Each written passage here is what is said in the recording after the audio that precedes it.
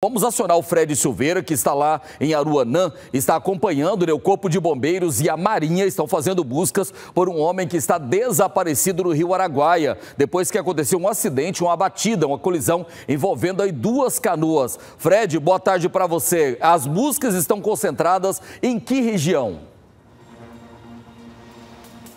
Boa tarde, Oloares. Boa tarde para você que nos acompanha. Buscas que começaram ontem, logo depois que os bombeiros foram acionados por volta de 8 horas da noite. Elas foram encerradas já um pouco mais tarde. Hoje de manhã foram retomadas. Essas buscas, Oloares, elas iniciaram no local do acidente. O pessoal faz uma espécie de varredura, né, colhendo ali todo o, peran... o, é, o espaço onde esse acidente aconteceu. O capitão Marra está aqui ao meu lado, ele vai explicar melhor. Porque nesse momento, né, capitão, essas buscas são suspensas até por uma questão de segurança da equipe, eles não podem ficar muito tempo, principalmente os mergulhadores. Como está sendo feito esse trabalho? Boa tarde. Boa tarde, Fred. Boa tarde, Aloares. Boa tarde, espectadores da TV Record. É, as nossas buscas, como bem disse o Fred Silveira, iniciaram-se ontem à noite ainda de, pela superfície. Nós tivemos embarcações fazendo a, a, busca pela superfície. Tivemos também drone com sensor térmico fazendo a varredura aqui na região é, próximo ao Aruanã. Hoje, pela manhã, iniciamos as buscas com equipes de mergulhadores que iniciaram-se no ponto da colisão das embarcações, logo acima da Praia do Cavalo. E elas foram descendo, realizando a varredura é, pelo fundo até próximo próximo aqui ao porto. Então, os mergulhadores, eles têm um tempo máximo que eles podem ficar em profundidade devido à troca gasosa e diversas lesões que ele pode ter. Se eles excederem esse limite, eles têm que fazer essa pausa para poder posteriormente continuar nessas buscas. Agora, capitão, a gente percebeu ontem à noite mesmo, a nossa equipe estava aqui acompanhando, que um trabalho de varredura é feito, né? Todo esse perímetro que vem da Praia do Cavalo até esse porto principal. A partir de agora, à tarde, como que esse trabalho vai ser feito? Ele vai descer o rio também?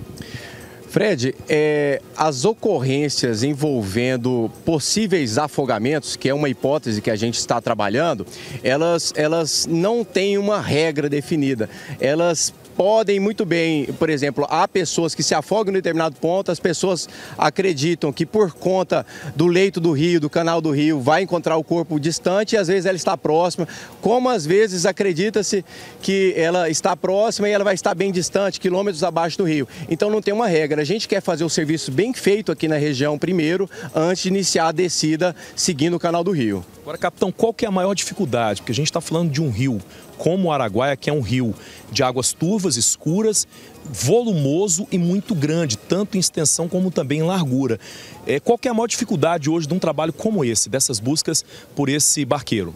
Bom, se eu tivesse realmente que definir qual a maior dificuldade, Fredão, eu diria que seria a baixa visibilidade, né? O rio Araguaia, ele possui essa água turva que um palmo à frente da, ali do rosto da pessoa já não é possível enxergar mais nada. Então o trabalho é tateando ali o fundo, as equipes vão mergulhando, tateando, varrendo todo o fundo em busca desse corpo. Ô Luares, o Capitão Marra está te ouvindo, ele está com o retorno aqui, a gente tem um pequeno delay, né, que é muito natural, mas ele está te ouvindo, se você quiser fazer qualquer pergunta, fique à vontade, Luares. Obrigado, Fred, Capitão, boa tarde. É, eu queria que o senhor desse mais detalhes sobre esse acidente e até como forma da gente prevenir, né, é, porque à noite, é, como não tem iluminação, né, é, é difícil, as embarcações nem sempre todas têm ali uma lanterna, uma iluminação, qual que é o risco e orientação é, é num caso desse aí, capitão? Boa tarde, Oloares, novamente. Olores, é o seguinte, o Corpo de Bombeiros, ele orienta que as pessoas evitem ao máximo transitar com embarcações no período noturno. A baixa visibilidade certamente é um risco exponencial para acidentes nesse período. Então, se você vem para Araguaia, vem curtir a praia, programe-se, programe o seu retorno para poder deslocar para sua casa em segurança enquanto houver luz do sol ainda. Caso isso não seja possível, em casos de extrema necessidade, se for utilizar a embarcação quando não houver mais visibilidade, Obviamente, a gente recomenda uma boa lanterna, um silibim adequado. A embarcação ela tem que estar sinalizada conforme as normas da Marinha preconizam para evitar esse tipo de acidente. Nesse caso aí, as embarcações eram de particulares ou de, de canoeiros, pessoas que prestam serviço aí às margens do Araguaia?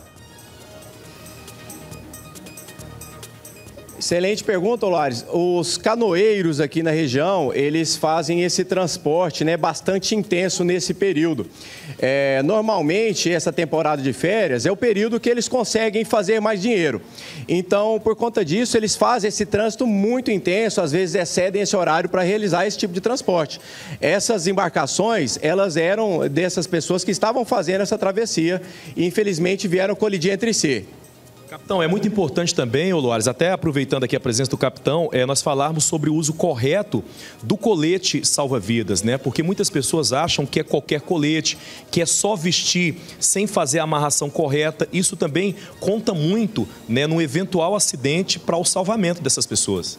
Perfeitamente. É, o uso do colete salva-vidas, ele tem que ser adequado ao tamanho e ao peso da pessoa.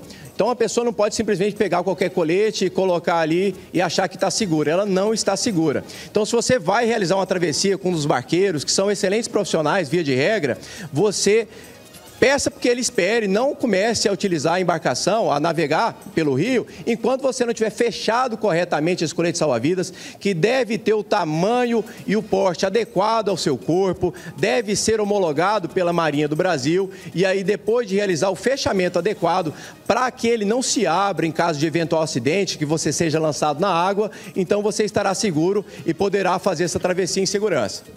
Ô Loares, eu quero até aproveitar aqui agradecendo ao Capitão Marria, todo o Corpo de Bombeiros e exaltando mais uma vez o trabalho desses caras aqui, porque a gente tem acompanhado de perto desde o primeiro dia que a nossa equipe chegou aqui em Aruanã, eles estão trabalhando muito com a orientação aos banhistas, aos turistas, tanto aqui em terra como também na água e nas praias. Eu mesmo presenciei no sábado um trabalho intenso dos bombeiros, justamente para evitar esse tipo de acidente que infelizmente acabou acontecendo ontem. Estão trabalhando as buscas como nós falamos. Elas se encerraram por enquanto, por agora. As equipes devem voltar daqui a pouco para a água de novo para tentar localizar esse barqueiro. Nós vamos continuar acompanhando e a cada momento a gente vai trazer atualização aqui dentro do Balanço Geral. Loares. Obrigado, Fred. Né? Só lembrando que é um trabalho aí é realizado pelo Corpo de Bombeiros, Marinha e também o Batalhão Ambiental, né? Também participando aí dessas buscas e fica a orientação é, e o alerta pra, para as pessoas que estão aí. Gente, só lembrando, quando a gente fala de colete, tem que travar todas as travazinhas, tem que estar apertado, porque senão o colete vai sair por cima. Não adianta colocar colete de adulto em criança, não adianta colocar um colete grande para uma pessoa magrinha. Então tem ali, gente, que colocar, ajustar direitinho para evitar esse tipo de situação. Obrigado, Fred. Né? Capitão, muito obrigado aqui, parabéns pelo trabalho. A gente continua acompanhando e fico alerta para você que está indo aí para o Araguaia ou para qualquer outro local turístico em Goiás. A gente quer trazer só notícias boas e imagens bonitas para você.